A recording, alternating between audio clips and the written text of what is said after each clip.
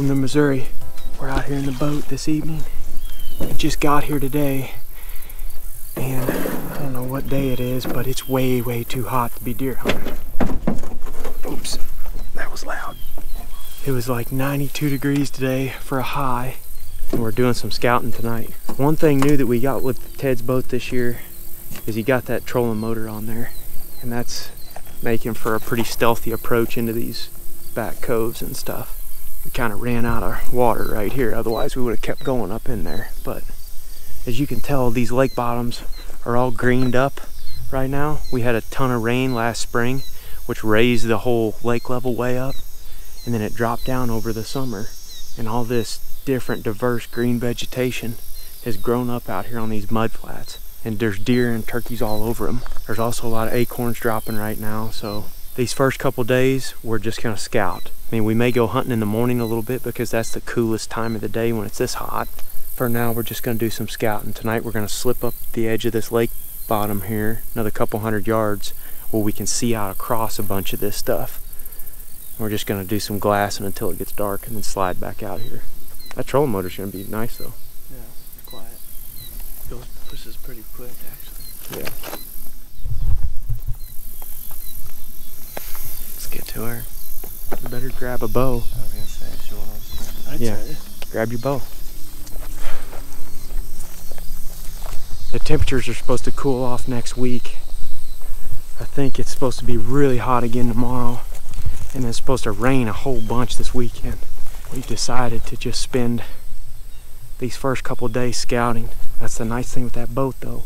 We can get into a bunch of these areas undetected and not leave a ton of scent or disturb them too bad. Look at this right here. This big bed. These are all cockleburs. When it's hot in the afternoons, this is the first shady spot for them to come in bed and they can bed down here in this damp soil. Stand up and go walk over there and get them a drink if it's super hot. Up here in these coves, there's not a lot of boat traffic.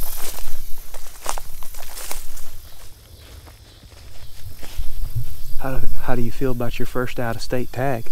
I'm Pretty excited. It's pretty nice too. I get two tags and two turkey tags, so. I can tell you one thing, if we don't find the deer, there's plenty of turkeys around here. We've already seen that. But we're trying to stay focused on deer for you guys right now. Look at this, look at this trail, dude. Leading through these cockleburs right here. This is, see, this is the type of stuff I want to hunt. Because I think we can observe a lot of this from a long distance. Can you just feel how much cooler it is right here? This is where they're going to be laying when it's hot like this. A lot of tracks right there. Mm-hmm.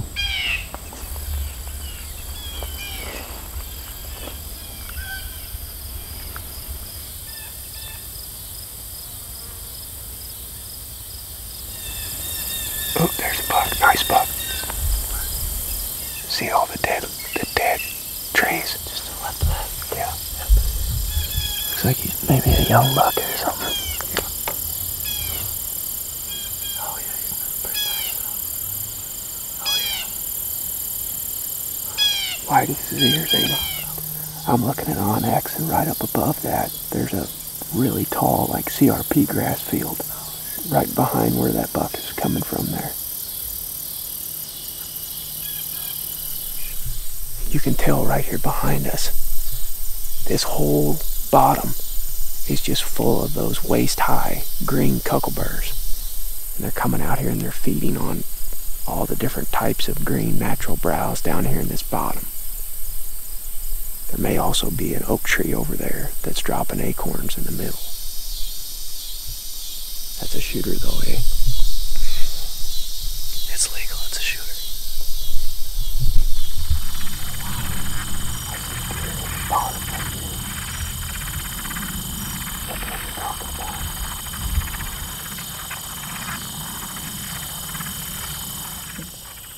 Been a pretty good first night here in Missouri so far. We're trying to find a way to slide out of here without spooking these deer, but we got two does right across from us right now, about a hundred yards away. Hopefully we can get out of here without boogering everything. We saw a few bucks, one decent buck, and a bunch of does and fawns in here tonight. I think these coves are gonna be the ticket.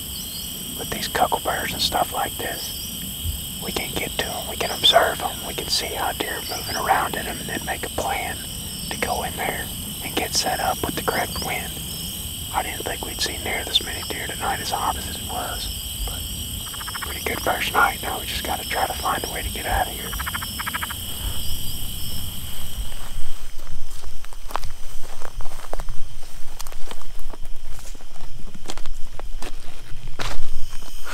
Let's go. Ready? Yeah. Let me know if you need a hand.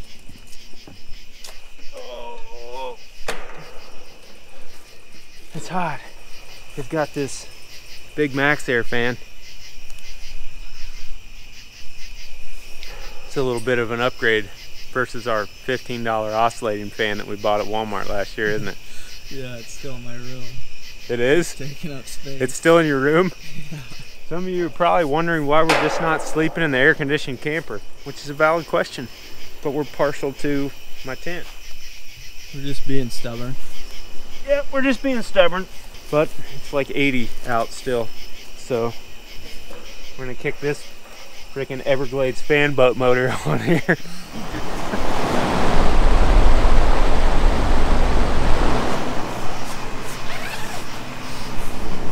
Not getting much air over here. I'm getting plenty over here. You gonna be alright? You gonna be able to sleep? Yep. I'll be fine. What time you want to get up? 3:30? Night everybody. See you in the morning. All right, guys. It's our second day here in Missouri. And I'm out scouting this morning. Dylan and Ted are about five miles from me up the lake where Ted got his buck last fall. But there are acorns everywhere in here. There's a big red oak right here behind me. I don't know if y'all can see that. And there are just acorns all over the ground. I glassed another one of these little uh, green lake bottoms this morning full of cockleburs and stuff and saw a doe and two fawns, but that was it. However, it's pretty obvious where they're at right now. I've been hearing acorns dropping all morning, and in fact, I found one white oak along the edge that had been dropping, and there was deer poop and tracks just everywhere underneath that tree. So, probably going to be something we focus on these next few days.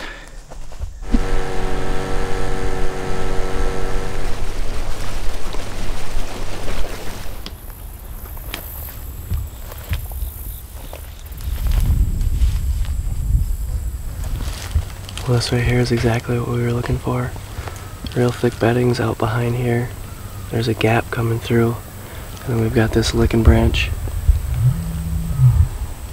with a fresh scrape right below it. And there's a tree right there at 17 yards. That's a nice split tree. Doesn't have a lot of cover, but if they come out of here, they're gonna be looking through all this brush and everything. So I'd probably be able to draw while their heads around this or if they're dinking around at the scrape and not paying attention. Could draw right there and it'd be a nice broadside shot coming out at 17 yards. Behind us, there's a ton of fresh acorns. I mean, just loaded. This is looking like the best thing that we've found so far. Thinking with the right wind or something, we might be back here tonight or within the next couple nights, depending on what Warb found. Doesn't look like there's a whole lot of deer coming out of here, but Yeah. probably a buck or two. Yeah.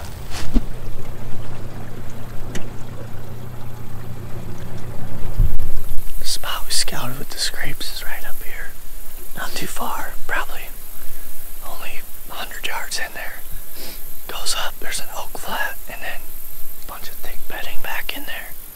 So, pretty sweet little setup. Seems like there's deer in here. A lot of deer. Hopefully we'll kill something. I don't know if I'm gonna shoot a doe or not, that might be a game time decision. I didn't have any camo short sleeve shirts, so we're gonna see if camel matters in a tree stand tonight or not.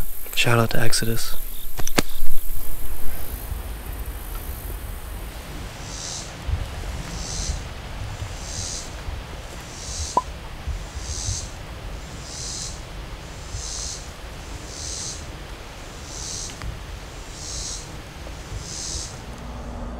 That's a wrap on day one and a half, Ted says. here in Missouri because we didn't really hunt last night. We just scouted last night, and then the boys hunted twice today.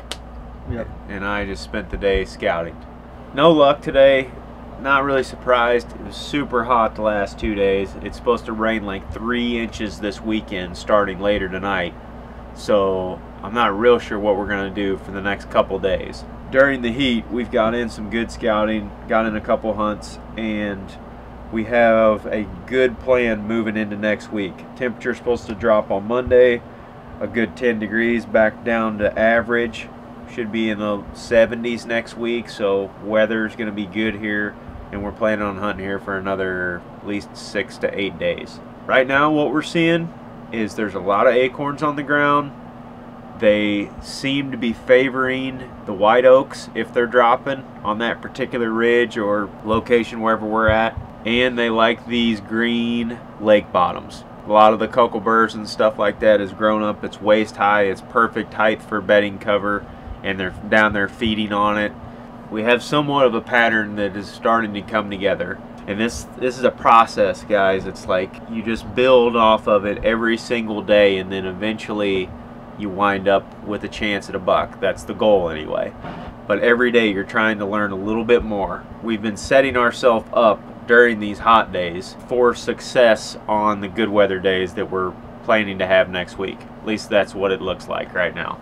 We're going to get some shut eye and we might try to hunt tomorrow if uh, it's not pouring rain. Things are looking good here in Missouri. Right, Dylan? Yep. Real good. You're not tired, are you? Not tired at all. Just watching the new video. If you haven't seen the mountain lion stock, check it out. Nebraska mountain lion stock.